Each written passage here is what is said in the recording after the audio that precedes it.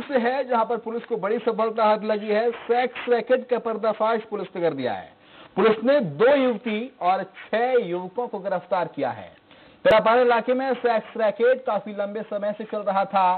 Police ने जब छापेमार कार्रवाई की, तब दो युवती और छह युवक आपत्तिजनक हालात में पाए गए। जानकारी के मुताबिक युवतियाँ मुंबई और कोलकाता से आई थी। आरोपियों के पास से एक कार, एक स्कूटी और पंद्रह हज़ार रुपए जब्त किए गए हैं।